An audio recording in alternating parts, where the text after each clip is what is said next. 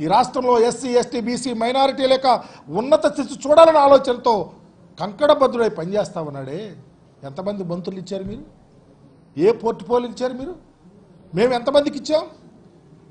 స్థానిక సంస్థల దగ్గర నుంచి రాజ్యసభ దాకా. ఎంతమంది ఎస్సీ ఎస్టీ బీసీలకు ఇచ్చాం? దట్ ఈస్ అది అడ్మినిస్ట్రేషన్ అంటే. అది అంబేద్కర్ గారు కోరుకున్నది జ్యోతిరావు పూలే కోరుకున్నది జగజ్జీవనరావు కోరుకున్నది. అయి కావాలయా? మీలాగా ఏరు దాటినాక తెప్పదగలేసుకునే రకం కాదు. మీరు అవకాశం ఉన్నప్పుడు దళితులను వాడుకోవటం అవకాశం లేనప్పుడు ఎగిరి కాలుతో దంతం మీ నైజం. అందుకే జగన్మోహన్ రెడ్డి గారు ప్రజలు నడుస్తూ ఉన్నారు.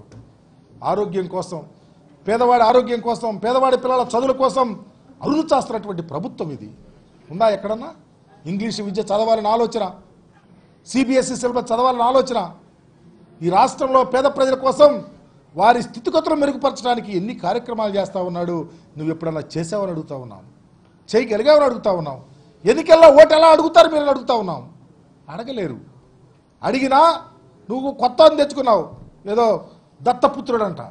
మీరు ఎక్కడికి వెళ్ళి అడుగుతారు? ఎవరిని అడుగుతారు? ఏం చేసేవారు అడుగుతారు? ఏం సాధించేవారు అడుగుతారు? ఈ రాష్ట్రంలో జగన్మోహన్ రెడ్డి గారికి ఒక్కడికే అర్హత ఉంది. పేదవాడి పేద కులాలను వెతికి వెతికి వారి యొక్క సామాజిక మార్గంలోకి తీసుకొచ్చినటువంటి ముఖ్యమంత్రి జగన్మోహన్ రెడ్డి గారు రేపు ఓటు ఇరవై నాలుగులో ఓటు అడిగే అర్హత మాకుంది.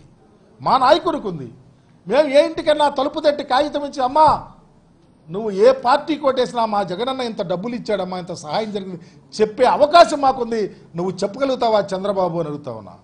రామోజీరావు లాంటి ఓసర వెల్లులు పత్రికలు నడిపేవాడు. పత్రికలు అంటే మాకు చాలా అపారమైన ప్రేమ. మా వాళ్ళందరూ ఆ ఆ రంగం నుంచి పైకి వచ్చారు ఆ రంగానికి విపరీతమైన గౌరవం ఉంది. కానీ ఇలాంటి డొల్ల రాతలు తేలిక రాతలు పేదలను అడ్డు పెట్టుకునే రాతలు వద్దని హితో పలుకుతూ రామోజీరావుని మొదటి ముద్దాయిగా చేర్చమని డిమాండ్ చేస్తూ సెలవు తీసుకుంటా ఉన్నా.